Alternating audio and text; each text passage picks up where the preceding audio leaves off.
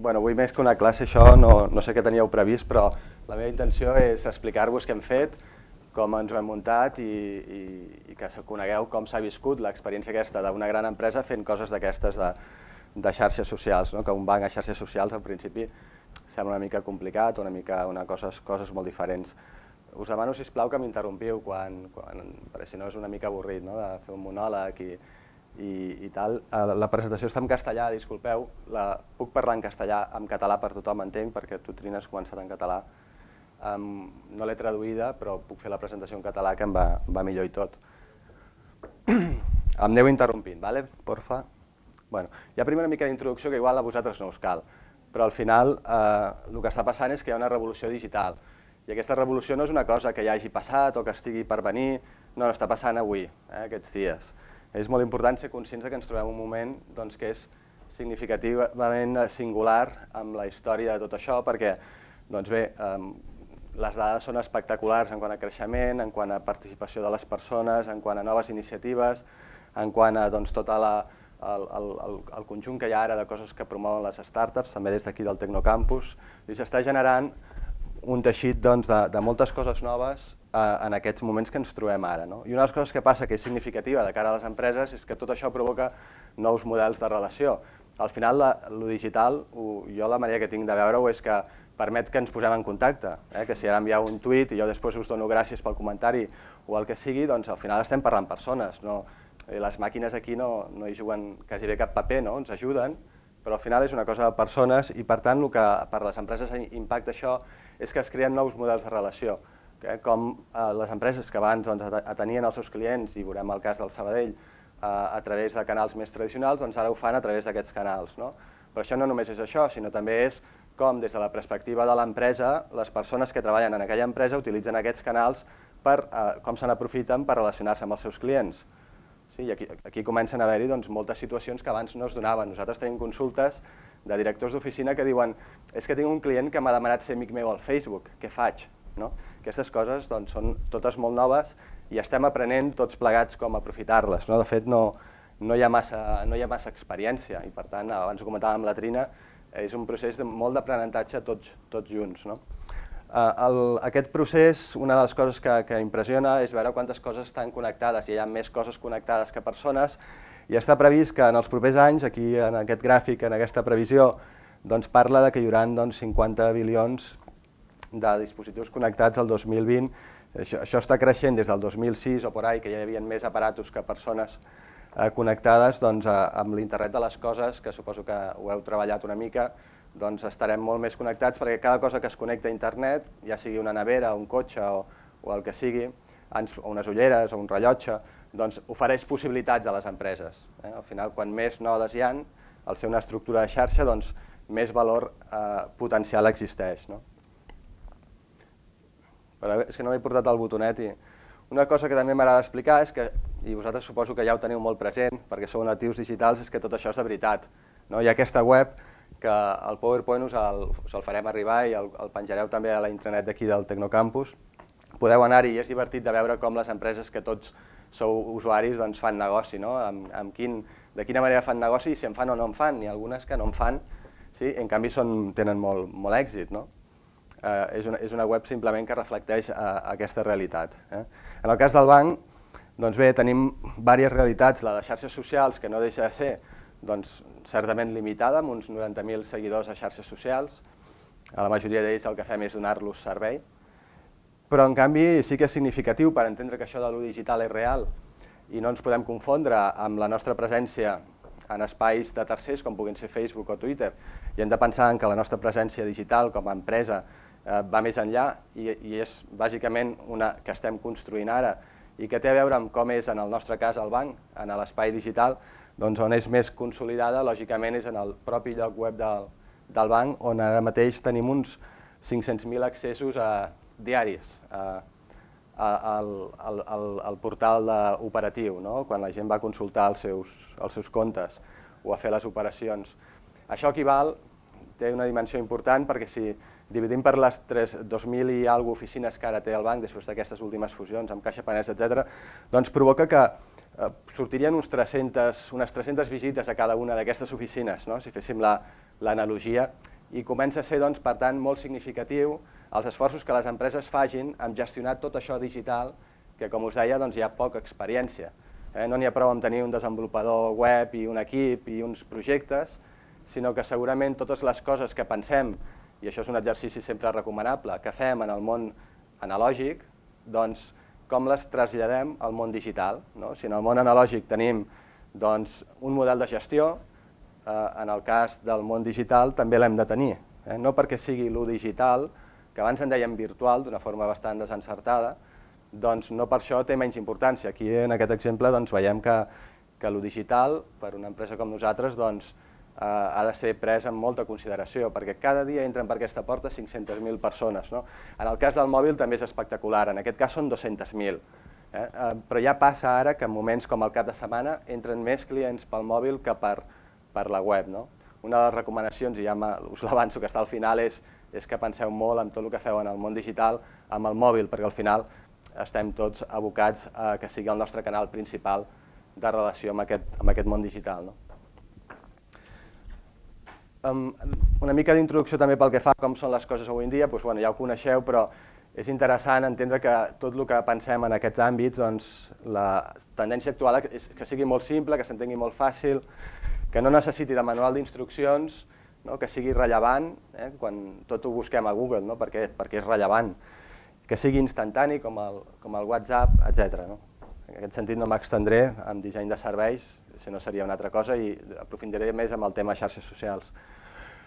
Sí que cal dir per això que aquestes coses tenen impactes doncs, molt importants. No? Quan els discos van passar a ser digitals, ràpidament doncs, es van transformar el que era un producte en un servei.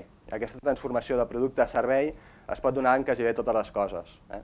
I és, és de cara a muntar doncs, negocis, que és una de les coses que fareu possiblement en el futur, doncs és um, crític pensar en termes de servei, eh, no, no en termes de producte que segurament són més antics, no tot arreu, eh, no, no puc generalitzar. Però bueno, totes aquestes línies, de, tots aquests sectors, doncs, alguns ja hi ha hagut una disrupció clara, no? quan pensem en, en el cas d'Amazon, Spotify o, o els mitjans escrits o la premsa escrita o, o la part més actual doncs, dels, dels viatges i, i també doncs, el, el fenomen aquest del WhatsApp, eh, cal entendre que aquestes companyies que han, sigut, que han tingut una disrupció amb el que feien, no és que no tinguessin gent bona, no és que no fossin capaces. No, de, o sigui, Telefònica podia fer un WhatsApp, evidentment, en podia fer un i en podia fer cinc, no? però els senyors de WhatsApp eh, van veure l'oportunitat i ho van fer. Eh, molts cops la diferència no està ni tan sols en tenir les idees, sinó en com les dus a terme, com les executes. No? I és, és important donar-se compte que això els hi passa a empreses tan grans com aquestes, demà passat ens pot passar als bancs, sí? i ens pot passar doncs, a, a qualsevol sector. Eh? I és, és un impacte d'aquest procés de digitalització de, de les empreses. No? Una cosa també que crec que és rellevant, i això és uh, una idea que a mi m'agrada molt, és que una cosa que està canviant és com canviem. O sigui, ja no tan sols es tracta de mirar on volem anar, sinó d'estar adaptats al canvi constant. Eh? Vosaltres esteu aprenent aquests, aquests temps i el que esteu aprenent doncs, està ja canviant. A mesura que ho esteu aprenent, comença ja a tenir una part d'invalidesa. No? A les empreses els hi passa també el mateix. El que estan fent s'ha de canviar doncs, de forma eh, constant. L'altre dia parlàvem amb una incubadora de projectes d'innovació i ens deien que una de les coses que valoren més dels emprenedors és la seva capacitat d'adaptar-se a les crítiques, al canvi, no? perquè un emprenedor que va amb una idea molt fixada, clar, un emprenedor no pot ser bon tot, Llavors, ells, ells, ells valoren especialment quan davant d'uns comentaris, d'unes correccions de cara a fer que aquell projecte funcioni, fins i tot a canviar en part el projecte, doncs la persona emprenedora um, sap entendre uh, el valor que se li aporta des de, des de fora. No? I aquesta elasticitat o aquesta adaptabilitat de, de les persones i de les empreses sembla que és més important que mai. No? i és degut a això, que, a que tot està canviant molt alhora. En el cas dels bancs tenim molts, eh, i avui tampoc no aprofundirem això, però us podia posar una slide, de que no és que sigui tot com sempre, també estan sortint noves plataformes, nous serveis, i que si els mires doncs s'assemblen molt més a l'Instagram que no pas a, al BS Online. No? I en aquest sentit tenim una feina molt important a fer um, per sobretot assegurar la nostra posició i el nostre negoci. No?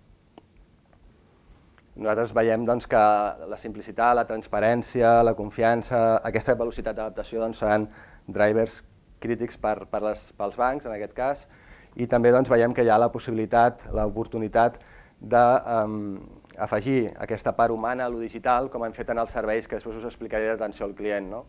O sigui, quan pensem en la barreja aquesta digital-no digital, doncs, bueno, al final el que està passant és que nosaltres tots som humans i portem coses digitals, i també el que hem de pensar és al revés, com els llocs que abans veiem només com a, com a llocs computacionals, com a llocs on hi ha unes regles doncs, estàtiques, també hi podem posar persones, eh, darrere dels serveis web, darrere de qualsevol cosa que fem en el mòbil. Eh, és important aquesta, aquesta part de les persones. Tocant només el tema de la innovació, que és en el que ara més estem treballant, perquè tot el que us explicaré de xarxes socials ho vam desenvolupar els últims dos, tres anys, i ara estem més abocats, això ja ho considerem més un business as usual i el que estem fent més és treballar amb aspectes d'innovació. Una de les coses que hem identificat, o que, que, que ens semblen crítiques també, és que el coneixement està més dispers que mai. Eh, si mirem a les empreses, doncs hi ha més coneixement a fora que dins. No? Per què? Pues perquè és un tema simplement estadístic. No? El coneixement eh, no, pot, no, no pot estar atessorat per una companyia, sinó que cada vegada més hi ha coses més interessants, més bones, més talent a fora, i la perspectiva d'abans, més antiga, eh, d'intentar fitxar els millors, d'intentar atessorar aquest coneixement, doncs bé, no és, no, és el que, no és el que es fa ara. Ara el que es fa és intentar arribar a acords, arribar, a intentar arribar a, a, a, a col·laborar amb tot aquest coneixement que hi ha fora. El primer és identificar-lo, no? saber on està, perquè com hem començat dient, doncs, les oportunitats n'hi ha a milers, no? i cal tenir procediments per poder-les identificar correctament. No? O sigui, ara una mica el que passa és que tots sabem um, una mica de moltes coses, no? i la part d'expertís doncs en, en, moltes, en molts sectors s'està perdent en, en part. No? Um, L'oportunitat aquesta sobre la innovació nosaltres la veiem amb diferents ritmes d'innovació. Un d'ells és uh, més incremental, com per exemple el portal d'idees de clients, on els clients ens diuen millores que farien. En aquest sentit, no els estem presentant encara challenge um, concrets i per tant ens diuen millores del que fan servir. Doncs a mi m'agradaria que l'aplicació mòbil tingués tal cosa que té tal altra entitat, potser, i que vosaltres no teniu, etc. No? En aquest sentit, tenim tots uns procediments de fer que tots aquests suggeriments de clients a dintre de l'organització tinguin el mateix pes que si els hagués demanat un director general. Això és molt important perquè al final treballem pels clients i com que treballem pels clients, doncs, eh, si obrim portes perquè ens diguin i ens demanin, doncs els hem d'atendre en conseqüència de forma correcta. No? Hi ha un altre tipus de velocitat d'innovació que és més transformacional, que té a veure més amb això que us deia d'identificar talent eh, i apropar-lo a, a les empreses i arribar a acords o a, a possibles col·laboracions amb aquest talent sense necessitat de construir tu aquesta infraestructura de talent internament i, i ni, de, ni, de, ni, de, ni de fer tot el camí que han fet aquestes persones. I en aquest sentit, doncs, bueno, un exemple és el que acabem de fer de llançar la primera aplicació del món per Google Glass, que us pot semblar una cosa una mica estranya perquè encara no, no, exist, no, no es pot adquirir les, aquest, aquest dispositiu, però a nosaltres ens va semblar molt interessant degut a que un emprenedor, que és client nostre, doncs és l'únic desenvolupador a Espanya que pot fer aplicacions per, per les Google Glass. No? Us vam arribar a un acord amb ell i és un exemple d'aquest tipus d'innovació, eh? on a través d'un emprenedor doncs, podem posar en el mercat alguna que doncs, bueno, va servir per eh, deixar veure al mercat la nostra posició respecte a aquests tipus de dispositius. No? que després, si voleu, podem comentar una mica més en, en detall. I hi ha un altre tipus de velocitat d'innovació que és més experimental, que aquesta és la que associaríem amb events tipus hackathon, no? que reunim a una, per exemple, estudiants eh, de, de l'àrea que sigui perquè desenvolupin en 24 hores una aplicació donant eh, resposta a un repte. No? Aquest és més experimental perquè bueno, poden sortir moltes coses, poden sortir coses d'un valor o d'un altre, és, és més incert el resultat i és més difícil posar-hi procediment. No? En els altres dos casos, el procediment ens pot assegurar en gran part el resultat. No? Tornant una mica, i perdoneu l'incís amb innovació, però com que és el que ara estem treballant, tampoc no volia explicar-vos només coses que considero una mica més endarrerides. Uh, vam veure al Sabadell que el servei als altres és el que fem més a les xarxes socials. No? Si us fixeu, quan busqueu uh, un hotel, un restaurant, una valoració, hi ha algú que us està donant servei perquè ha posat allà les estrelletes, els comentaris, el que li havia agradat, i per tant, la, entendre que la participació a les xarxes socials és, una, és, és molt important, l'actitud de servei que tinguem, doncs, eh, bueno, ens va semblar sentit comú. No? A més, el banc està molt ben valorat a nivell de servei i vam començar per aquí. Aquí hi ha un vídeo, veiem si funciona, que resumeix una mica el que fem. Vale? I així també faig una pausa. Passa que abans els vídeos he vist que tenien algun... No, sí, sí que va. Ah, no, perdoneu. Oh, és el de Google Glass, fallo meu. Veus, això passa per, per fer copiar i pegar. Bueno, no, no us el poso, no sé, em deixem, comprovaré que és aquest o no, però si surt aquest senyor és que és el de les... Sí, sí. Sí. Per aquest el podeu trobar al YouTube, no, no invertim temps ara amb això. Disculpeu que, que se m'ha anat, he copiat un per, per un altre. N'hi ha una YouTube que explica en el youtube.com barra Banco Sabadell que explica, resumeix l'activitat del banc a les, a les xarxes socials i surten els diferents departaments una mica perquè els hi veiéssiu la cara, eh? no, tampoc no. El banc va començar amb una estratègia més de servei, que després ens vam donar compte que havíem d'acompanyar continguts, perquè al final del que es parla a xarxes socials és molt de, del contingut, no? hem de parlar cosa, i, i, i que després estem aprofundint en, en més com aquestes relacions es fonamenten eh, i com es desenvolupen. No? Això com a, com a evolució. Les coses d'escoltar, participar, compartir, les heu treballat ja doncs, amb l'Àlex i, la, i la Trina, no, no hi entro al detall, però sí amb, la, amb el que fem. Nosaltres, bàsicament, en el banc el que fem és donar servei a través de xarxes socials, atenent a clients, que seria la del mig, ho fem 24 hores, sí, tots els dies. Um, també fem monitorització per veure si hi ha converses en les que deguem participar. Eh? Això, quan comences, el primer que fas és reservar els espais de xarxes socials, com us ho han explicat, després mirar que també què s'hi diu, i és sorprenent que s'hi diu de totes les empreses, és a dir, que si una empresa no hi és, és ha de ser perquè ha decidit no ser-hi, que pot ser lícit, perquè potser té altres coses més prioritàries que, que fer o que arreglar abans, però se'n parla ja de totes, és a dir, que ser-hi som totes, vulguis o no vulguis. No? Um, aquesta monitorització ens permet detectar coses que hem d'escalar de, o que hem de comentar internament o que hem d'atendre. Eh? A vegades són persones que diuen, em recomaneu algun banc? Doncs nosaltres ens oferim amb els nostres serveis, òbviament. Sí? També fem una difusió i seguiment de continguts. Eh? Quan us deia abans, doncs, el contingut el vam afegir després i vam veure doncs, que era molt important que eh, el banc també aportés contingut perquè és, com us deia, doncs, eh, una part del, del servei també. Eh? I quan ets un banc tens moltes persones, tens molt contingut i curiosament les grans empreses, doncs, moltes vegades aquest contingut el tenen les persones en el seu cap, no l'estan, molts cops eh, el que s'ha de fer amb el contingut és simplement treure'l i posar-lo en, una, en un suport digital. No? Llavors, eh, bueno, eh, aquí hi ha una mica de detall, no? monitorització, doncs 24 hores també, Eh? La part més important, i després veureu un exemple, són els procediments que posem al, al, al darrere. No s'hi val dir monitoritzo, no, monitoritzo com? Doncs cada dues hores faré això, d'aquesta manera, i amb el que en surti ho afegiré a l'informe. Tot, tot el que fas sí, s'ha d'aproximentar en aquests espais, és molt important, perquè és la forma d'anar aprenent, no? i aquests procediments el primer dia són molt senzills, no? és quasi bé, doncs em pregunten i responc, però després ja es van complicant, no? però quan em pregunten d'aquest tema, què responc, no? com interactuo? I a mesura que va passant els anys, aquests procediments que primer eren molt simples, doncs passen a ser més complexes, no? bastant més. Uh, hi, ha una, hi ha uns reportings doncs, de diaris, també doncs, dels temes de, mm, detectats, hi ha uns reportings mensuals, més d'alt nivell, mirat des de fora, no des del dia a dia, de com està el banc respecte a la competència, us ensenyaré pantallassos. Eh? I llavors hi ha procediments d'escalat al servei d'atenció al client, al departament de comunicació. En el banc això ho hem fet com una cosa de transformacional, no ho hem fet com un crear un departament de social media i que aquest departament sigui el que ho fa tot. No. Nosaltres el que tenim és uns serveis d'atenció que agafen el telèfon, responen a l'e-mail i que també atenen a les xarxes socials, però després quan es tracta de fer comunicació externa, doncs ho fa els senyors de comunicació. Quan es tracta de fer màrqueting, ho fan els senyors de màrqueting.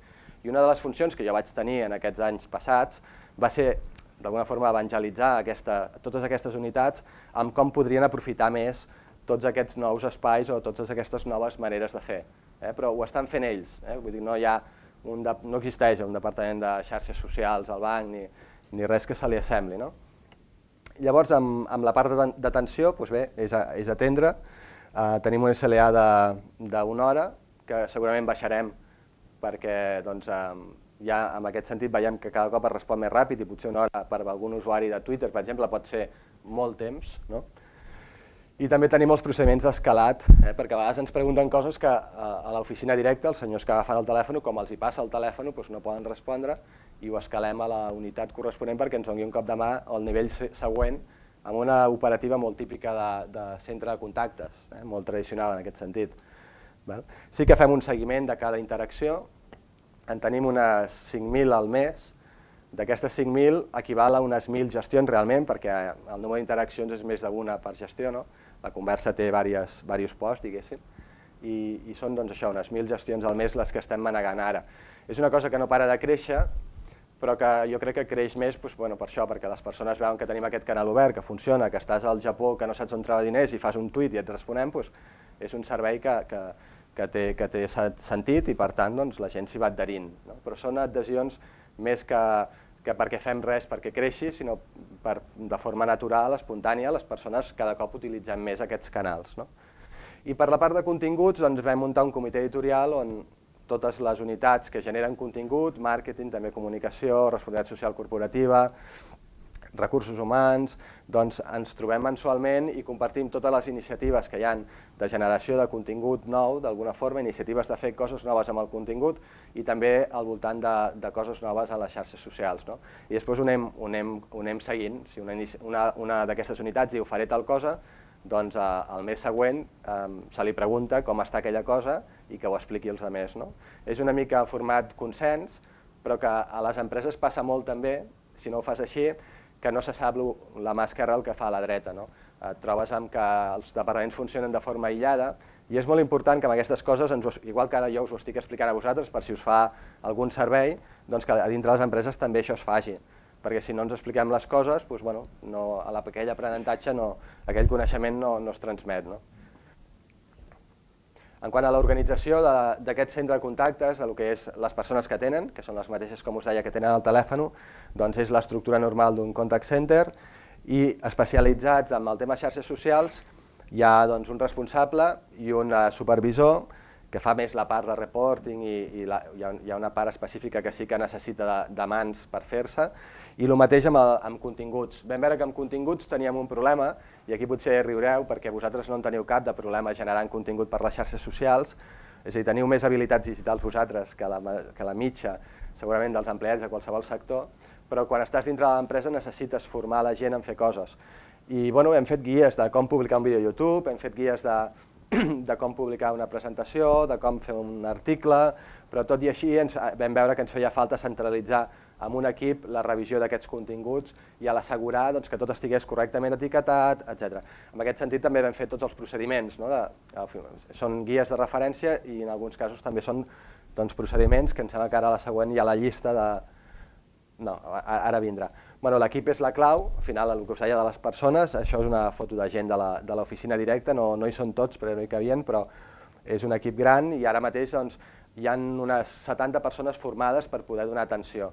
Um, totes donen atenció? Mm, sí, però les que són titulars dels matins, no? que és quan hi ha més feina, sí que estan de dos en dos, doncs són, aquests són, són més especialitzats i s'hi mensaven més perquè ho fan cada dia, i després les persones que tenen per les nits, i també el cap de setmana va per torns. Llavors aquestes persones tenen els torns on hi ha menys tràfic i per tant menys, menys feina, menys intensitat i, i són les que tenen menys experiència perquè ho fan menys, no, perquè, no per res més. No? És un món en el que el fet de...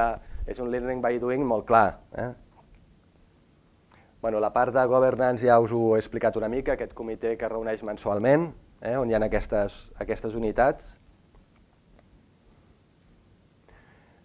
En, en quant a, al resum, bueno, em sembla que ja ho he anat dient tot, no? més de 70.000 seguidors, eh, més de 1.000 gestions al mes, s'atenen el 97% en, en menys d'una hora, um, l'atenció és personalitzada, um, bueno, el contingut hi ha 14 milions de reproduccions, després us explicaré per què, perquè vam tenir un vídeo que es va fer viral.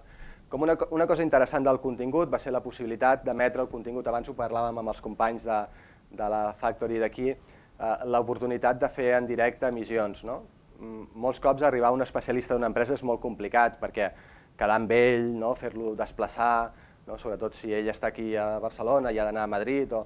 En canvi, avui en dia, doncs, agafar una llicència de Ustream o Livestream que si la voleu amb anuncis és gratis i si, com nosaltres, la feu sense anuncis, doncs ho pot aconseguir qualsevol pime perquè té un preu molt, molt reduït. Això et permet doncs, agafar i fer una, un pla de continguts de quan faràs un event i fer-lo sense quasi bé cost eh? i amb una audiència doncs, molt més àmplia que si quedessis amb les persones. No? Això ho hem provat amb temes de negoci internacional, per exemple, on el banc doncs, té una posició d'avantatge competitiu i ha, sigut ha tingut molt bona acceptació, hem tingut 300 eh, connexions simultànies, que per un tema tan específic és, és bastant, i en alguns casos doncs, ens deien les persones després agraint-nos-ho i tal, eh, doncs érem set mirant-ho. No? Vull dir, quan el tema interessa, encara que sigui un target reduït, pot tenir molt sentit d'oferir contingut digital. No sempre ha de ser un contingut que vagi a YouTube i que sigui per milions. No, no, pot tenir sentit per, per 300, no? perquè aquell especialista ni l'han vist mai, ni segurament hi parlaran mai, a no ser que sigui amb un sistema així. No? Estem parlant d'empreses de, que ja tenen doncs, milions de clients. No? Els continguts els vam posar en un portal de, que es diu Banc Sabell TV perquè el YouTube no ens, deixava, um, bueno, no ens deixava fer el portal amb la navegació que volíem i vam crear un portal que està fet en WordPress um, que té doncs, els continguts ben, ben posats, millor que en el YouTube, però són els mateixos continguts de vídeo YouTube. Si aneu a Banc Sabell TV veureu que la navegació doncs, bueno, és més còmoda que la que et permet el, el YouTube, tot i que els continguts els està agafant d'allà. I això ho hem anat doncs, també fent créixer, tots els continguts que fa dos anys no en teníem cap, doncs els hem anat posant en aquest portal i els hem anat endreçant. No? Després us ensenyaré alguns exemples. La foto aquesta que hi ha aquí baix és una experiència d'aquestes de, del programa Exportar per Créixer, de negoci internacional, on aquest especialista doncs, fa la presentació, com veieu no hi ha gaire diferència entre el que està fent ell i el que estic fent jo ara. No? Un PowerPoint darrere i vull dir, tampoc no cal en aquestes coses a vegades fer, bueno, si ho podem fer millor, millor, però vull dir que en el, en el nostre cas ho hem fet molt pràctic. Mm? El senyor que també hi ha darrere, eh, amb, les, el, amb, amb més en gran, amb la corbata, és un client. Eh? També hem provat doncs, això, no? què, què millor que, que fer testimonials de quan algú vols que parli bé de tu, doncs, si tens un client que està content, doncs és tan fàcil com demanar-li aquesta col·laboració. No? És una experiència també molt positiva perquè té molt baix cost i genera un, un, un avantatge per les dues parts. No? Són empreses que segurament no tenien un vídeo professional um, enregistrat explicant la seva experiència. No? I, I els hem agafat perquè són empreses que exporten més del 80% de la seva activitat, no pas perquè parlin de nosaltres. No? En, en algun dels vídeos, si ho mireu, veureu que parlen potser 5 segons. No? Digue'm. La comunicació directa que teniu amb, amb els clients a través de la web ha disminuït des de que heu obert els canals de, a les xarxes socials? És a dir, la comunicació dels clients a vosaltres ha canviat i ha passat a, la, a través del, del, de les xarxes socials com tenia ser Facebook o Twitter o el que tinguéssiu i substituint, diguem, el contacte que podien tenir a vosaltres a través de la web? No, no en absolut. La, el que ha canviat, ara et responc, eh, però el que sí que ha canviat potser és que aquells continguts que abans les empreses feien per posar en una web molt bonica i que eh, costaven de fer i que eh, són projectes que de fet encara ho estem vivint, no? que costen d'actualitzar, aquest contingut informacional eh, sí que ha perdut molt valor i molt tràfic. És a dir, a les webs informacionals hi va molt poca gent. La gent el que va és a operar, a consultar els saldos, a, a les coses que realment els interessen. I segurament queda una mica ridícul, això no ho tuitegeu, sisplau, però el, el, explicar que és una hipoteca avui en dia, doncs, la veritat, no aporta cap valor. No? En canvi, el contingut aquest nou, més treballat, que intenta ajudar la gent i tots els serveis d'aquests canals sí que estan aconseguint l'atenció dels clients. Sí? És a dir, hi havia hagut un desinterès amb la part informativa, perquè realment segurament estava molt poc desenvolupada, eren fitxes de producte amb condicions i poca cosa més, i una, no, no era res intel·ligent, en el sentit de quin contingut hi posàvem, i, i en canvi tots aquests serveis que tenen persones darrere doncs tenen molt més èxit i, i les persones, com us deia, de forma espontània hi van, però no hem observat que baixi res. No? Això és una mica com quan es va posar la banca a distància en funcionament, que doncs, no, la, tu, tu penses, totes les consultes que ara es fan en banca, aquells 500.000 entrarien a les oficines cada dia? Doncs eh, segurament no. Eh? Ara es fan moltes més consultes de saldo, ara es fan molta més operativa que abans no es feia per la comoditat de poder-ho fer des del mòbil. No? Doncs també es fan eh, ús d'aquests nous canals sense anar en, en detriment dels altres. Contrari, no? el telèfon puja, eh, ja es dic, l'únic que, que sí és significatiu és que la, la part informacional més estàtica de, de la web en un món digital que tot canvia constantment, que tots publiquem cada dia coses, Sí? Um, doncs, um, si no ho fas així, si no tens un timeline no? de lo que està passant ara a l'empresa, de lo que estàs fent, doncs uh, segurament um, no tindràs tràfic, no? No, el teu contingut no interessarà. Bé, això, això és una mica d'exemples de, de coses que hem fet, doncs hem fet aquests uh, webinars en directe o aquestes presentacions, hem, amb, amb negoci internacional sobretot, hem fet videotutorials, perquè és molt difícil explicar-lo de la seguretat online amb un document text. No? En canvi, explicar-ho amb, explicar amb un vídeo doncs, és molt més agradable. No? Aquí també us incorporo el tema de, de formateig del contingut. Fins fa uns anys no era tan important, però ara estem en un moment d'efervescència de tot lo visual. No? Si us fixeu, tot el que fem servir eh, té imatges, té vídeos, té, i el que més ens atrau de l'ús particular que puguem fer de les xarxes socials, no? a l'Instagram o qualsevol dels, el, el Vine o qualsevol dels que surt ara, no? o l'Snapchat fins i tot, no? tot, és, tot és visual acompanyat d'imatge o acompanyat de, de vídeo. No?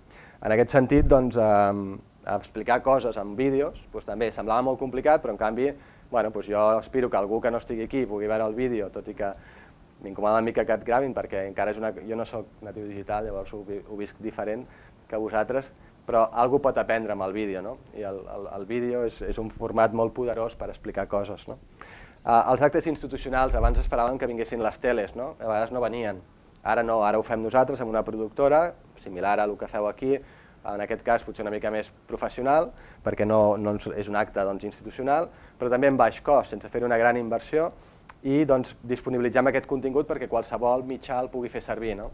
En aquest sentit, a comunicació el que vam fer és canviar els procediments. El que abans fèiem o no fèiem, o, fèiem i ens ho guardàvem, ara ho compartim. No? Posem les fotos al Flickr, posem aquests continguts a disposició en el YouTube, en el Banc Sabell TV, etc. En aquest cas el canvi és mínim, eh? no és un gran canvi, no és una transformació com la que podria viure màrqueting. En aquest cas, els procediments que es canvien és, són ben bé de digitalitzar el contingut i formatejar-lo. No? També hem utilitzat el, el, el contingut amb experts, com us deia abans, però en aquest cas la foto és d'un expert en, en mercats, que fa l'anàlisi d'asset allocation mensual, els testimonials, que ja us he comentat, de clients, patrocinis, quan fem doncs, l'Open Banc Sabadell de tennis o coses d'aquest estil, o la Fira del Llibre, les presentacions de resultats, que seria també com, el, com, la, com la Junta Dalt d'accionistes, ho hem utilitzat per integracions bancàries, per explicar eh, els companys que venien d'altres entitats com és el banc. Eh, Imagineu-vos explicar aquestes coses amb, amb text, no? és, és horrorós. Um, hem fet reportatges per Solvia, per vendre pisos, que sabeu que és una, el tema immobiliari un dels temes que, que ens preocupen més actualment, i, i doncs, per ajudar a aquesta comercialització. Um, també hem fet el, el resum anual de, de, de, de què ha fet el banc, també hem fet vídeos de resum, diguéssim, Um, bueno, el tema events i patrocinis és molt similar. I, I temes de formació, també ho estem experimentant internament, és a dir, que amb tot el que és vídeo i contingut audiovisual el, el, no hi ha límit, no? estem un, a, la, a les beceroles de saber aprofitar això. No? La tecnologia també ens acompanya perquè properament ja es podrà cercar contingut a dintre del vídeo, no podran estar indexats, podràs buscar vídeos en què es parli de no sé què, coses que ara doncs, encara són una mica complicades, sí? i també podràs doncs, compartir per internet, alguns serveis ja ho ofereixen, només aquell tros que a tu et sembla que és interessant, o, sí? per tant el contingut audiovisual no deixa de guanyar amb, amb, amb notorietat en els temps actuals. No? Un dels, dels vídeos que, que es van fer era la festa de final de campanya local de Sabadell, que com que era, fèiem unes campanyes locals i, i com que eh, era Sabadell, vam dir, bueno, fem una cosa mica diferent i màrqueting, això, no, això va fer-ho màrqueting, um, va fer un vídeo expressament per internet. Va ser el primer vídeo que feia màrqueting expressament per internet, que no ha sortit a la tele, que no s'ha fet servir per res més. I era l'himne de l'alegria com a festa final d'aquesta campanya local, no? amb, la, amb la Sinfònica del Vallès, amb gent doncs, qui tenim contacte, Jo diria que no havia res econòmic entre mig, vull dir que era una col·laboració, no? ens ajuntem, fem això a la plaça del poble, doncs bé, aquest vídeo va ser un dels 20 vídeos més virals del 2012 a nivell mundial, amb, amb una categoria advertising que és una mica eh, relatiu, és a dir, no dels més vistos de tot, tot, tot, però bueno, en qualsevol cas ha tingut, eh, no sé si són ja 12 milions de reproduccions o no sé quan, i és l'únic cas que tenim un vídeo generat en, en, pel banc que on més s'ha vist és a, a l'estranger, a, a Japó, als Estats Units, eh, és molt significatiu perquè, fixeu-vos, el primer vídeo que fem per internet que a més a més coincideix que és un vídeo que no té res comercial, que l'únic que es expressa és doncs, això, no? un l'himne de l'alegria. Està cantat en català tot i que ningú ho identifica, perquè és com molt líric, no? Uh, i, I bé, doncs, um, és un dels èxits d'una empresa que és un banc, no? És una cosa molt curiosa i que no vam fer res perquè fos així. Eh? La gent, doncs, eh, amb el contingut a vegades passa que, es, que fa el que vol, eh? i en aquest cas, com que no hi havia tampoc idioma, no hi havia un missatge comercial, era simplement doncs, això, un, un vídeo que, que la gent, doncs, per les imatges, per com està fet, li agradava, i és el més exitós de tots els que hem fet. No? Llavors, a partir de llavors, màrqueting té sol·licituds de fer vídeos virals i clar, d'explicar que això no es fa, que això passa. No? I, però bueno, vull dir que us pot passar igual que nosaltres perquè no és pas el que haguem dedicat més esforç ni molt menys. No? Bueno. Sabadell Flash Mob, per exemple. Uh, si no, el Banc Sabadell TV també li, li tenim, però per compartir igual preferiràs el, el YouTube. Aquí us he posat una mica d'exemples d'això que deien de, de la planificació, de, de com treballem. No? I són casos reals. Eh? El de sota és un exemple de, del comitè editorial de nous vídeos que hem de, que hem de, que hem de difondre. No? Hi ha el títol, no? l'Instant Money, que és un servei que, que vam treure fa poc, que serveix per treure diners sense, amb un, pots enviar un missatge a algú perquè pugui treure diners d'un caixer sense cap targeta i sense ser client, doncs, eh, I això són els canals en els que aquest vídeo està previst que es difongui. No? I que la situació era pendiente ok vol dir que, està, que està en revisió. No? Llavors, són documents tots molt senzills, els poso expressament perquè veieu que, que no fem servir res complicat, que fem servir el mateix que vosaltres. El següent és um, el tweet plan de, del, del canal Banco Sabadell, on el que fem és consensuar amb màrqueting i comunicació tota una sèrie de missatges que s'han de difondre en uns dies i hores concrets. No? És molt important el de planificar i també el de planificar fins i tot en eines que et permetin deixar-ho planificat. No? Perquè cada cop que, si ho poses en directe, com fem, ens ha passat a tots, ens, ens podem equivocar. En canvi, si ho planifiques, doncs ja t'equivoques molt menys. No? Eh, ho pots deixar planificat, mirar-ho, i llavors dius, hosti, no, hi ha una errada, llavors ho pots corregir. Quan, quan planifiqueu, utilitzeu l'Excel? Eh, sí, sí. Això és un Excel.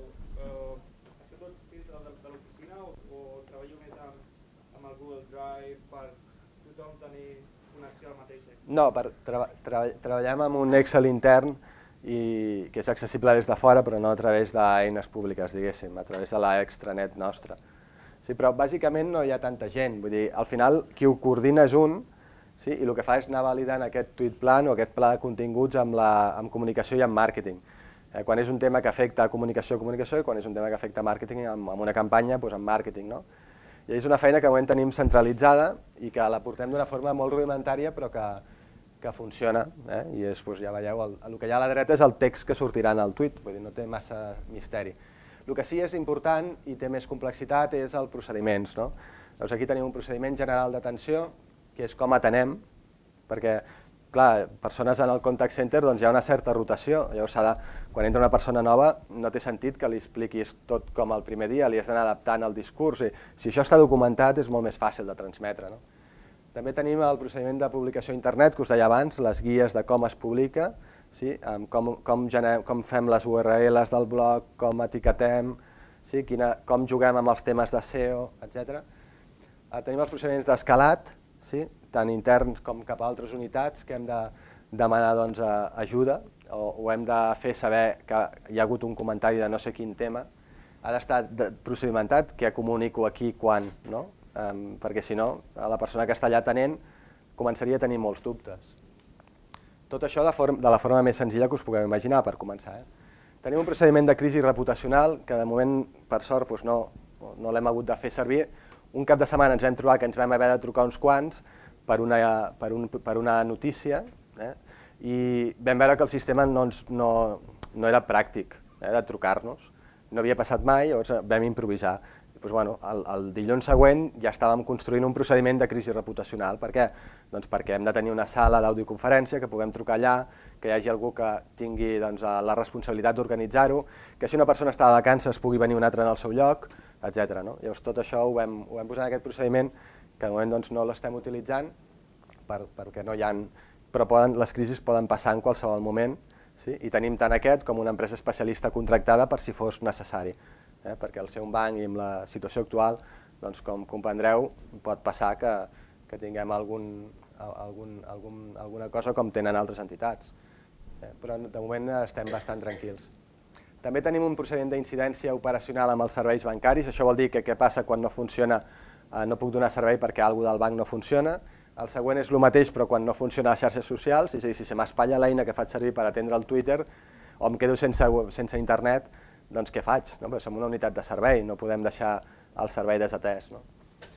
Eh, també tenim el llibre d'estil, on s'explica com parlem, quin to utilitzem, com ens dirigim als clients, i aquestes guies de referència de publicació i models de sol·licitud de continguts per quan altres unitats ens demanen que preparem un contingut pel blog o que el preparem per fer un, un vídeo. No? Jo crec que aquesta part és molt important perquè tot el que, el que fem queda registrat i així ho podem anar millorant. Eh? Penseu que aquestes coses semblen molt fàcils, però si ara aquí féssim una prova, la mateixa cosa la faríem de 10 o 20 maneres diferents, no? perquè cadascú té el seu criteri, encara que si fos una cosa d'algú que fóssiu experts o que us sentíssiu molt còmodes. Quan ets una empresa has d'assegurar que, bueno, que no depenent de qui hi ha davant del teclat, les coses són diferents. No? Bueno, quant a estadístiques, doncs, bueno, aquestes són genèriques de coses que seguim. Aquí n'hi ha una més detallada, eh, on surt, de fet abans he dit 70.000, però aquella slide no la tinc actualitzada, ja són 94.000 eh, en quant a seguidors, i el que, el que seguim és com anem d'activitat en quant a número d'interaccions, que és la part aquesta de servicing, eh, que aquí surten les 5.000 que us deia, 5.500 al mes de... Això és actual, eh, és del mes de setembre, bueno, actual, mes de setembre, i són dades de veritat les 1.000 que us deia de gestions, perquè hi ha més interaccions que, que gestions. Fixeu-vos que activitat comercial, coses que poden realment ser una, una conversa comercial, només n'hi ha 143, o sigui, la majoria de converses que tenim són converses de donar informació, informació operativa, informació de productes, eh, com ho he de fer per fer tal cosa, no trobo l'opció, coses d'aquest estil. Um, bueno, el, aquí estem al 95% de... Havíem estat al 97% a l'agost, ara estem al 95% d'atenció en menys d'una hora en tots els canals que tenem. En quant a publicació de continguts, generem uns 25 continguts, 26, 17, en els blogs cada mes. En quant a difusió, que són els canals de Facebook, Twitter, Google+, unes 152 al mes. Tenim un, aquí hem tingut uns 50.000 clics, això és degut a hi ha un increment aquí que està marcat molt gran i també en el número de seguidors per una campanya que es va fer a màrqueting, a màrqueting que després us ensenyaré. I en quant a viralitat i conversa, el que seguim és quanta gent doncs, viralitza el contingut o, o parla amb nosaltres degut a aquest contingut i de promig aquest mes estàvem al setembre amb 44 eh, likes eh, um, per contingut de promig i 9,6 comentaris. Digue'm molt clar que el poder de les xarxes és molt important i que té molta influència i que diguem que la imatge que tu dones com a empresa a les xarxes socials i el valor que tu transmets o la moralitat que teniu a l'empresa o la, la filosofia queda molt clara i la pots transmetre a través d'internet. Llavors, arribat a un punt en el qual tothom estigui connectat a la xarxa, tothom eh, estigui pendent del que diuen les empreses a internet, podrà arribar un moment en el qual eh, almenys pregunto en el vostre cas, vosaltres no tingueu que dependre dels anuncis que feu a internet i pugueu eh, treure els anuncis eh, a la tele, que imagino que suposen un cost important? Bueno, clar, la, la situació actual és que, que aquesta realitat, com que no existeix, doncs el màrqueting funciona d'una manera determinada. No? Abans ho comentàvem amb la Trina també que, que la transformació que se li exigirà a aquesta àrea és, en els propers anys és molt gran. No? Sí que veiem que, que té molt impacte la part del que diuen... O sigui, quan parlem d'espais de, digitals, podríem separar-ho entre espais de gestió, que són espais en els que fem gestió, negoci, etc, i espais d'atracció. No? Els espais d'atracció poden ser pagats, poden ser guanyats, poden... Eh, quan aquests espais d'atracció eh, prenen una especial rellevància amb les empreses grans, sobretot, és quan estan conformats pels seus empleats, pròpiament, és a dir, que els teus empleats fan aquesta tasca que comentaves, i els teus clients. No? que en els dos casos vol dir que ho fas bé, perquè si no, no convenceràs els empleats que no els hi pots dir tuite, tuiteja això, no, l'empleat ho fa sempre, eh, pot ser que estigui influït per la teva recomanació, però si no, i, si no creu que allò realment té valor, no ho farà. I el client, doncs, encara més. No? Llavors, sí que és cert que aquesta part segueix tenint molta, comença a tenir molta més dimensió que fa, o sigui, és progressiu també el creixement. Però no perdem de vista que, per contra, per dir una cosa en sentit contrari, si mirem ara qualsevol, eh, ho podeu mirar amb qualsevol de les eines gratuïtes, eh, l'impacte de les notícies en general a, a Twitter, per exemple, que és un dels que es pot mesurar més, més xulo, amb qualsevol tema, l'impacte més gran el segueixen tenint els mitjans de, de comunicació. És a dir, que avui en dia encara hi ha una part molt tradicional i és que de lo que més es parla és de lo que parlen els mitjans de comunicació, que d'altra banda són, tenen unes viatges tradicionals. Eh, la majoria dels clients que, té, que pot tenir un banc o una caixa són precisament la gent que no està connectada a les xarxes socials que poden, poden tenir de 35 anys cap endavant. El percentatge de gent que està connectada a les xarxes socials de 35 anys cap a, cap a dalt és molt menor al que, per exemple, podem estar nosaltres, la gent més jove, que és precisament la gent que no té comptes corrents o que la majoria no en, pot, no en tindria. Llavors, jo pregunto si en un futur... Sí, en principi el banc ja és un banc universal, va sí, a tots sí, els targets. Sí, el seu nou pla de, de pensions, el Facebook no serà una bona via, perquè el meu avi no mirarà el fons de pensions per Facebook, pues no crec... per la tele. No creguis, home, la tele té, té un cost molt gran i, i només a, eh, i és molt, un format molt publicitari, no? dura molt poquet temps, etc. Però nosaltres creiem que, que el contingut que hem de generar ha d'anar molt més per la via justament que tu ara no veies del tot clara, és a dir, si jo tinc, el que jo espero d'un banc és que m'expliqui per què necessito un pla de pensions. Després, si el vull anar a fer a la caixa, és igual. Però la gent, molts cops, i aquí tenim molt poca cultura financera, el que més falta ens fa és que ens expliquin per què. O sigui, jo per, per què necessito fer això? Llavors, si t'ho explica una persona amb un vídeo, t'ho explica bé, i després et deixa la porta oberta, evidentment, perquè ets lliure, contractar-ho amb aquell que t'ho ha explicat també, o amb un altre, doncs tu... però el problema que tenim amb, amb el sistema nostre en molts casos és que la gent no és conscient de per què necessita un producte financer, quan parlem, per exemple, de l'exemple aquest que m'has posat de pla de pensions. No? I aquí la, la part d'aquesta més didàctica, més pedagògica, és, és, és molt important i aquests canals pues, van molt bé per, per aquestes coses. No? Um, al final, utilitzar uns canals uns altres, el que, de, el que depèn més és, com tu deies, en aquest sentit sí que dono la raó dels targets, si el teu target està en una xarxa social X, la que sigui, perquè avui tenim unes però demà passat en tindrem unes altres. Doncs en aquella xarxa social posa ja el missatge que tens per aquell target. No? Al final les xarxes socials com a, com a espais d'atracció el que provoquen és una, uh, unifiquen una audiència al seu voltant. Llavors, si, vas, uh, si tu vols dirigir-te a una audiència d'emprenedors, doncs, doncs vés en un espai de LinkedIn on només hi hagi emprenedors, potser. No? Si vols dirigir-te a una audiència més barrejada, doncs, bueno, Facebook possiblement sigui el lloc. No? Nosaltres sabem quines viatges tenen els nostres espais socials, perquè el ser un banc no s'acosta d'allò, no és com Coca-Cola, no? que, que s'acosta molta més gent. No? I bé, després és aprofitar també les capacitats de segmentació de cadascun d'aquests espais, no? però a mi em sembla que si la gent està allà, doncs haurem d'anar allà a explicar-los coses també. No? Una altra cosa és operar i tot això, i l'espai de gestió sí que el veiem com un espai molt més eh, nostre, no? perquè aquests espais, clar, que més te'ls poden tancar demà passat. No? Eh, hi ha hagut molta polèmica amb la llei de cookies, de per què eh, fins i tot es va pronunciar algú de l'Agència de Protecció de Dades de que potser um, seria um, denunciable que una gran empresa tingués, una empresa tingués presència a Facebook que no respecta la llei de, de cookies. No? Vull dir, aquí et pots sentir, sempre, estàs a casa d'un altre, no? i això pot anar canviant, ara per lleis, ara per nous espais, però utilitzar-ho com un espai on hi ha una audiència sí que té tot el sentit sempre. No, no sé si... Sí, sí.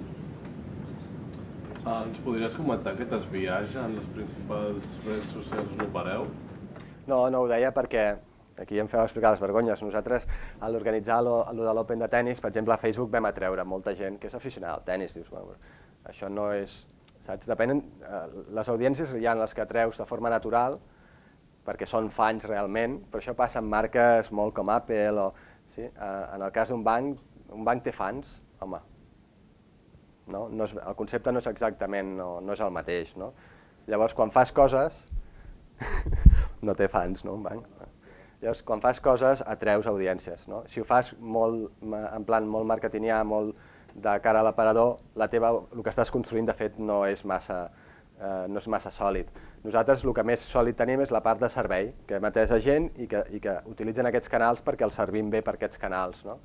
Um, després tenim altres grups com aquest que comentava, que són més exògens, que són més afegits, i que en molts casos són de l'estranger, on, en, on llocs on fins i tot no hi podem fer negoci. No? Vull dir que aquí el número de fans és important per poder tenir una audiència a qui dirigir-te, sí? per poder doncs, fer, um, agafar les, uh, tenir en compte les seves dades personals per adreçar-t'hi més one-to-one, -one, per temes de màrqueting, sí? però, però és delicat, no, no es pot generalitzar que el que sigui important sigui tenir fans. No? Xavier, um, la pregunta que ha fet ell abans, com que t'han fet dues de seguida... Ah, m'he despistat. Te l'has deixat. Li pots sí. tornar a fer, sisplau? Disculpa. Una mica més senzill. Sí. Apuntem només al, al principi, era de... Sí, bueno, en resum, que els anuncis que vosaltres feu per la tele, diguem que principalment estan basats en transmetre uns valors d'empresa. Sí. Llavors, aquests valors d'empresa també es poden transmetre a través de les xarxes socials sí. i a través de, dels canals sí. d'internet. Eh, podríeu, diguem, eh, estalviar els costos de Sí, és, és que, sí, perdona, Trini, és que jo em donava per mig, perdona que no, no he preguntat per això, per mig respost amb el que t'he dit de que realment el que segueix manant actualment és, és la part més tradicional, on també, si vols, hi podem posar la publicitat en mitjans massius. Sí? És a dir, que eh, pot semblar molt bonic l'altre, però mm, quan poses l'anunci a la tele, pugen les altes de clients, és així. Vale? Però, però, però això és molt clar l'actualitat perquè la majoria de la gent sí, clar. Aquí és, aquí és difícil, amb la fragmentació d'audiències que hi ha i tal, és difícil aventurar-se amb què passarà en el futur. El que sí és cert és que en els canals digitals el que més pesa, més que un tema de branding, com, és a través de l'experiència, no? i el nostre esforç estarà en els propers anys, sobretot en fer que l'experiència sigui el màxim de bona. No? És a dir, que fer servir un banc hauria de ser fantàstic que fos com fer servir l'Instagram. No? Quan aconseguim els bancs i aquest tipus d'empreses més sèries fer les coses d'una manera tan... Eh, eh, que sigui una experiència gratificant, no? que no sigui una cosa tediosa, que sigui al contrari, que superem les expectatives, que sí? és llavors que aquest efecte que tu dius pot també donar-se més fàcilment. Quan, quan la nostra generació diguem que tingui els 40-50 anys i formem la majoria de part, o la gran part dels clients que podria tenir, clients potencials d'aquests bancs, sí. està claríssim que, que nosaltres, la nostra presència a les xarxes és molt més gran que quan estem mirant la televisió. Imagino que la majoria de la gent està més estona a internet que mirant anuncis de la televisió, llavors sí, sí. penso que seria, dintre d'uns anys el supòsit que penso jo és que imagino que la imatge que podríeu donar a través de les xarxes és més important que, uh, que el que podíeu donar a través d'un anunci. Bueno, eh, jo aquí el que faig és barrejar-ho amb la realitat, no? i al final, com que dèiem que això és real, doncs, bueno, és, és això, no? la, aquesta realitat que tu ara tangibilitzes a través d'un anunci també s'ha de tangibilitzar amb tot el que fem en digital. Sí? Hi ha d'haver una, una clara... Hi ha gent que té do, dos perfils per fer coses diferents, jo sóc més partidari que siguem transparents, no? I si mireu el meu Facebook, el meu Twitter, el que sigui, pues sóc el mateix que ara i sóc el mateix parlant amb vosaltres que parlant a no sé on per a empreses o, o amb el meu jefe. No? Aquesta transparència és bona perquè t'allibera d'haver de fer veure coses. No? I en, en el cas de, de, de lo digital, bàsicament jo crec que en, els, en les empreses de serveis és garantir la màxima ex, eh, experiència, l'experiència més bona, més satisfactòria possible als clients. No? no té més. Ara, després com aconsegueixes um, fer clients, etc. Pues, bueno, aquí ja et dic, el màrqueting uh, per mi és un territori molt uh, escabrós que, està, que, que ha de canviar molt, que, que és que ja els clients no els pots anar a pescar amb campanyes com les d'abans, és un estar sempre en campanya, però segurament és més, estaria d'acord amb tu que té més sentit fer les coses tan bé que tu les expliquis a tota la teva comunitat digital, com a, com a natiu digital que ets i que tens una influència, que no pas un anunci. Jo crec que les coses van per aquí però avui en dia encara no... no. Sí, sí. No, I que a més el valor que aporten és, és, bueno, és, sí, és, és marca, no? Però...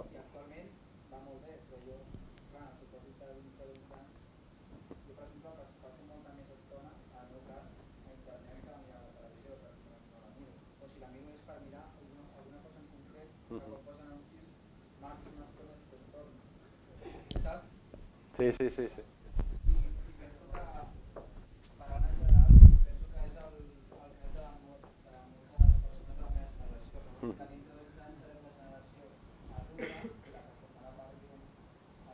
Sí, no. Per les empreses el repte és doble. És, per una banda, què fem perquè us sentiu còmodes? No? Eh, ara ho dic, ho dic molt en sèrio, eh? què fem perquè us sentiu còmodes en aquest futur que tu apuntes? i també com fem que vulgueu treballar amb nosaltres, sí? perquè eh, la transformació digital no només és de cara en fora, sinó també és de cara endins. Sí? I si l'empresa internament no funciona d'una forma moderna, diguéssim, tampoc no voldreu treballar en aquestes empreses. Sí? No només és fer de consumidor de l'empresa, sinó també participar-hi exigeix que, doncs, bueno, que tinguem unes eines que, no? si tu entres en una empresa i tot va per correu electrònic, dius, jo, no? això és del segle passat. No? Que sí, sí, és, és, jo crec que és clau en tots els sentits. Segueixo amb, acabant ja, aquí us posava un, coses que estem mirant ara que són una mica més avançades d'anàlisi, de, que de forma mensual doncs, ens posicionen respecte a la competència i ens miren temes d'activitat, amplificació, reach, eines d'aquest tipus n'hi han centenars. No? Llavors, eh, bueno, si mai heu de treballar analitzant aquestes coses, jo us diria aneu a lo pràctic i si aconseguiu algú que us faci, us doni l'output que voleu, a vegades és millor que, que remenar 30 o 50 eines. No? Nosaltres hem passat molt temps buscant eines i és un món que com que està amb, amb moltes oportunitats, doncs encara no està, no està madur. Iniciatives destacades, doncs, bueno, més o menys ja les hem anat comentant. No? En el moment que la gent de comunicació fa la part de notes de premsa en digital, doncs és, un, és un guany clar de cara a la comunicació amb els periodistes, que abans era, com, a, com us deia ara amb l'exemple aquest, de tot per correu electrònic. No? No sabem si hi ha una correlació, però amb una valoració recent el banc havia passat de ser considerada, no sé si la 18a o no sé quina, eh, que, bueno, havíem, sí, pujat 5 punts del 18 al 7, no? Dius, com a la part de comunicació del banc. Dius, la part digital quin pes ha tingut? No ho sabem exactament, però sens dubte entre no fer res o, o començar a fer coses hi ha una gran diferència i nosaltres creiem que sí que hi ha una correlació. No? En temes de màrqueting, doncs ara ja no, tindrem, no tenim temps d'entrar en detall, però bueno, sí que hem vist que a Facebook la gent el que vol, estic eh, també d'acord amb tu, és jugar, és passar-s'ho bé, és oci, i en aquest sentit el repte és com, com, ho, com ho conjugues. No? El servei està molt bé, però necessitem tenir més palanques. Amb el contingut hem vist que els, un, un contingut que era només apuntar-te a, a, fer un, a instal·lar una aplicació i participar en un concurs que regalàvem un viatge i que l'aplicació et deia, segons el teu perfil, amb qui et relaciones, les coses que publiques, bueno, era lògica borrosa total, el resultat et deia on, quin seria el lloc del món on, on l'aplicació creu que tu series més feliç. No? Com que això genera una incògnita a qualsevol persona i és només fer un clic, doncs ho vam fer-ho molts. Eh, I amb això vam duplicar el número de, de fans a Facebook. No? En aquest cas és, és, una, és, un, és un experiment i ens va sorprendre tanta acceptació per una cosa que en principi doncs, és força, força senzilla. No? I és, una, és el que es veia en el, en el reporting d'abans que havia provocat que al setembre, sí, a l'estiu, doncs que la gent va vacances, fem coses d'aquest estil també. No? Ara tenim tres persones que han guanyat, que estan a tres llocs del món fent, omplint un bloc amb, amb la seva experiència, no? que són els tres guanyadors de, del sorteig. Uh, una cosa que també vam fer per la part de recursos humans, a part d'utilitzar LinkedIn i ensenyar-los com aprofundir amb el tema recruitment, és generar una norma d'ús a les xarxes socials. No? Si, si esteu treballant per una empresa que això no ho té fet, serà important que ho feu, perquè avui en dia ja ho tenen la majoria. No? És necessari dir als empleats què esperes d'ells a les xarxes socials, si poden dir o no que treballen a l'empresa, com han d'actuar, si poden o no representar l'empresa, etc. En aquest cas hi ha, una, hi ha serveis a internet que us donaran eh, doncs, milers d'empreses de, que ho fan i les principals multinacionals doncs, tenen aquest contingut públic perquè el puguin aprofitar altres. No? Nosaltres ens vam inspirar molt amb el d'IBM i algun altre i vam fer la nostra versió que també està disponibilitzada pública. Sí. Això permet donar resposta als empleats que, que volen fer més. No? Um, I també protegir l'empresa, eh, en els dos sentits. Uh, L'equip de xarxes socials també el tenim publicat en el blog qui són, bueno, això són tuits d'exemple, que ja no, ja no, no aprofundeixo. El tema de LinkedIn eh, és clau, eh, tenim milers d'empleats que s'han apuntat espontàniament, no els hem dit, i ara el que eh, volem fer és que entenguin que la seva marca personal és un valor pel banc també, i en aquest sentit qualsevol empresa eh, en aquella línia de transparència que comentàvem abans, doncs és bo que tingui els seus empleats també públics. No? Dius, és que me'ls poden caçar o me'ls poden... Bueno, és que no tenim res de que amagar-nos, no? El nostre capital són les nostres persones que, que rellenin el perfil a LinkedIn, que el tinguin ben posat, que posin els seus, els seus logros, el que hagin fet, el que treballen, la seva experiència, perquè aquesta és la manera de connectar, de connectar amb emprenedors, de connectar amb l'exterior, que és on hem dit que hi ha el talent. Si no ens exposem, si l'únic que fem és exposar una marca, és només una primera part molt simplista. Hem d'exposar eh, tot el que som. No? Hi ha casos que millor no exposar-ho i arreglar coses. Vale? Si l'empresa no, no acaba de funcionar, té problemes, doncs clar, lògicament quan t'exposes reps. No? Però si, les, si ets una empresa que, que funciona bé, doncs eh, és una cosa que fins ara feia por fins i tot en aquests casos, però que ara cada cop es fa més d'exposar-la perquè és la manera de tenir eh, aquest contacte amb la realitat externa digital. Bueno, ens qualifiquen bé en informes que no saps ben bé com els fan a vegades, però que sembla ser que, que dintre de, del banc, eh, del sector i també de l'IBEX, doncs, aquest de la dreta és un últim que ens va fer molta il·lu perquè deia que érem la millor empresa de les xarxes socials de l'IBEX 35 i nosaltres quan ho expliquem, ho expliquem en plan, si l'únic que fem és, quasi bé quan ens pregunten responem, no? Vull dir, ho simplifico molt, però vull dir que tampoc no, no és tan complicat, això vol dir que les altres no, no, no estan fent la majoria eh, massa esforç. No? Com a coses apreses, eh, us posava una mica de lliçons apreses al final. No?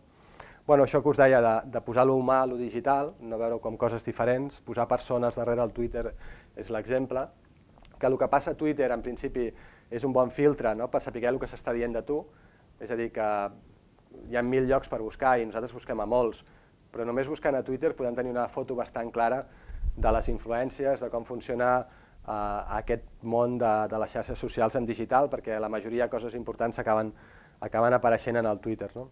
Sí que hi ha llocs com foros de discussió, llocs molt concrets, tancats, hi ha una part, diguéssim, fosca d'internet, um, o accessible només com als perfils doncs, de Facebook, que només pots si ets amic, etc. Però en general, per lo públic, el Twitter funciona molt bé i és molt simple llavors d'enfocar-ho.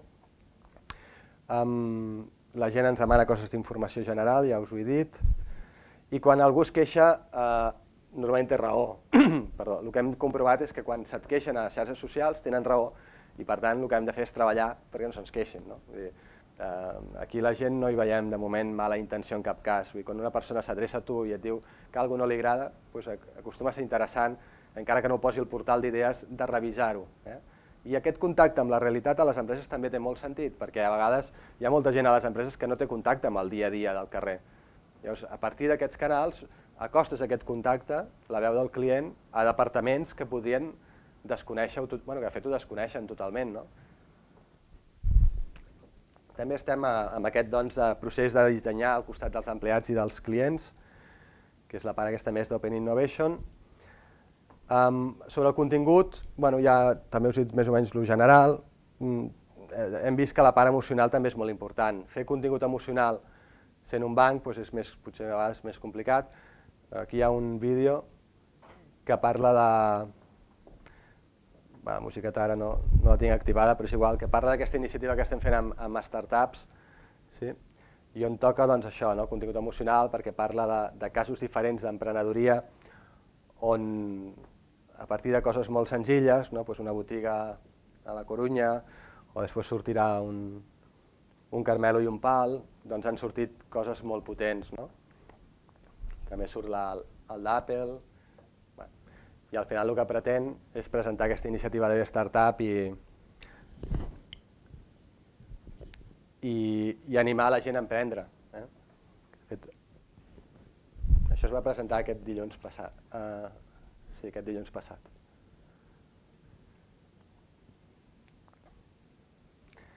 Aquí el banc el que farà és, amb aquesta mateixa línia de fer les coses entre cometes de veritat, doncs, fer un programa de finançament d'ajuda amb capital a, a 10 startups d'un total d'un milió d'euros.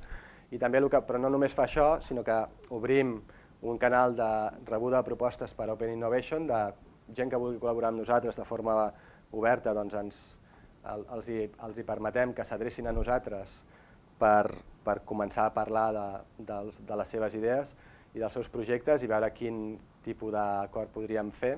I també incorpora la, la part de aprofundir en que les oficines tinguin més coneixement de temes d'emprenedoria. Ara passa que moltes, molts bancs, doncs, si va un emprenedor, parlen llenguatges diferents. No?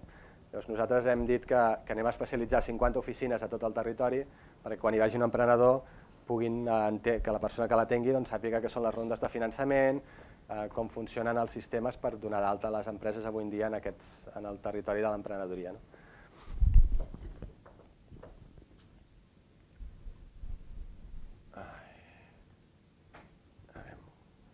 Ah, no sé on soc. Vale, com a, també recomanació, el del mòbil, que ja us he comentat, sí, que al final, si enviem un e-mail i té un link, avui en dia l'obren amb un mòbil. Si aquell contingut no és accessible des del mòbil, ja, para, ja no funcionarà el que estiguem fent. No? És a dir, que qualsevol cosa que feu a internet en general, ja imagineu-vos que només hi haguessin mòbils, perquè és de fet una, una, una visió encertada. Eh? I bueno, en quant a reptes que, que té el banc, doncs, eh, estem en un procés de, de creixement que necessitem centralitzadament donar més capacitats eh, i per tant aprofundir en aquesta part de, de, de gestió digital centralitzada, eh, fer que el banc sigui més simple, que, que és una cosa doncs, que també us he comentat, i innovant tot això que és les relacions amb els, amb els clients, no? amb tots aquests nous canals eh, i aprofitant totes aquestes noves capacitats. Una part important és la formació pròpia de la plantilla, perquè quan ets més de 15.000 persones no, doncs és, eh, és una, té complexitat de, de formar les persones amb, amb aquest canvi constant. I fins aquí és el que us havia preparat.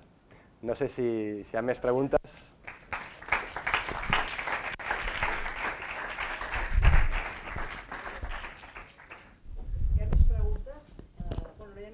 Hem anat sortint una mica, el que passa ens hem, ens hem menjat una mica ja el temps. Però, però bueno, si algú té alguna pregunta que li ha sorgit a la darrera hora o vol fer algun comentari o alguna cosa, doncs ara seria el moment. No? Bueno, us explica. No, no crec que n'hi a, hagi a vegades moltes. tinc la sensació que és molt obvi, no? perquè són coses molt senzilles. No? Sí. Però bueno, és que és tal com ho, com ho vivim. Mira, ja hi ha una pregunta.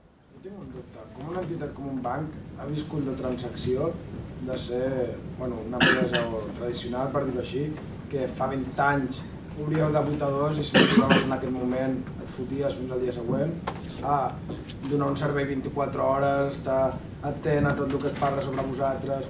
No sé, això ha sigut com de cop? Us, us ha imposat de cop o a poc a poc?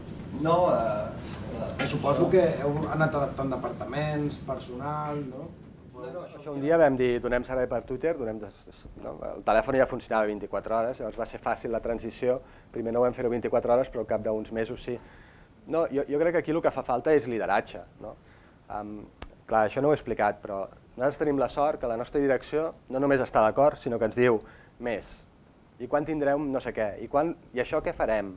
No? I, i links de coses innovadores, potents, que passen al món, i que diu, el, el, el missatge al correu diu com, comentar, jo en rebo cada dia.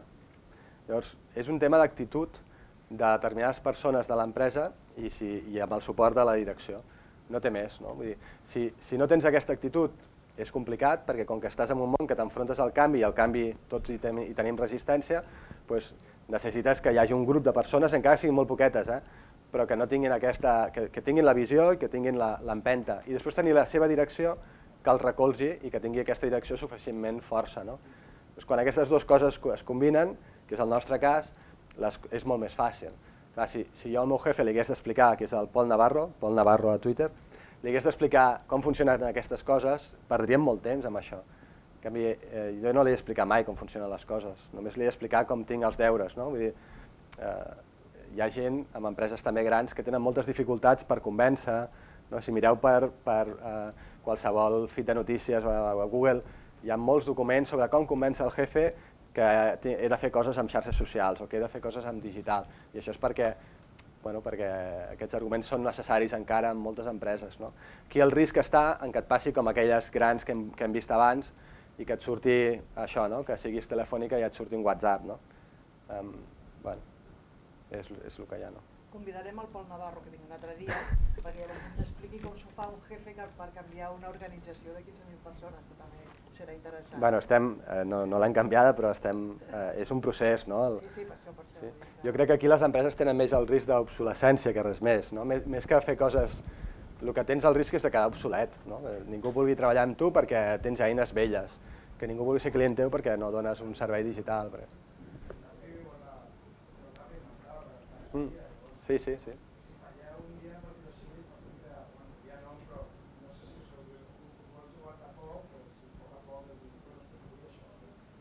No, el que, el que hem fet és el procediment normal en una empresa, que és fer projectes, fer un pla, un roadmap de projectes i anar-lo portant a la pràctica. Amb molts pocs recursos, però amb gent amb molta...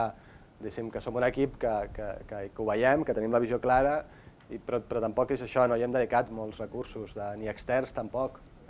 Vull dir que fem el màxim que donen les nostres capacitats, amb la qual doncs, bueno, el ritme és, anem, avançant, però dir, no, no tenim un gran departament amb aquests temes i el que creiem és que l'important és anar transformant tota l'empresa. No? Més que canviar una, part, no? ahir tenia un proveïdor que em deia perquè vosotros esto de innovación tenéis un, hay un para que podáis un poco un espacio de Texas, ¿no? que podéis hacer lo que queráis. Dic, no, no, no, això no va així. El que fem és anar convencent a totes les unitats de per què aquestes coses són importants i per què les han d'entendre i les, han de començar a incorporar. Clar, és més lent. Si tu et poses en un lloc, eh, en un silo on todo, se todo vale, no? Eh, però llavors no estàs canviant l'empresa, estàs fent una altra cosa. No? Nosaltres és aquest procés d'anar contaminant els altres i la manera de fer-ho més pràctica és amb resultats, amb, i quan els senyors que no hi creien a... Bueno, això internament té un canvi brutal, no? des del primer dia que et miren com un friqui fins al cap de dos anys que veus que, hosti, que totes aquelles unitats que et miren com un friqui t'estan demanant ajuda, t'estan demanant que els ajudis, que estan entrant al Twitter, que... Sí, um, jo recordo un dia que, això no ho tuitegeu, que li vaig dir al director de comunicació, li vaig enviar un, un tuit dient-li, um, deia, el tuit deia d'un altre que deia com pot ser que el director de no sé quina gran empresa en Coca-Cola no tenga Twitter, no? I li vaig enviar el meu, de director de comunicació. I ara ja, ara ja, és, ja té els, la premsa com a seguidors, ja, i els guanys són, són així, són incrementals, i a vegades són des de fora potser són tonteries, però de cara a el que és l'empresa són molt importants, no? perquè vol dir que les persones han entès. El temps mig d'aprenentatge d'aquestes coses, amb gent de la meva edat, diguéssim, penseu que passa de l'any. Eh? O sigui, tu, tu agafes una persona i dius, mira, que et vull explicar alguna cosa, i aquella persona ho ha entès, ho ha interioritzat i ho està ja aplicant d'una forma més o menys digna en, el seu, en la seva activitat diària, pot passar un any. Mm, no és una cosa com amb vosaltres que us ho expliqueu us expliquen una cosa avui i demà ja ho esteu fent. No? Les persones eh, que venim del món més analògic i a les empreses doncs, eh, el tema és, és un procés que no és instantani. Merci, gràcies.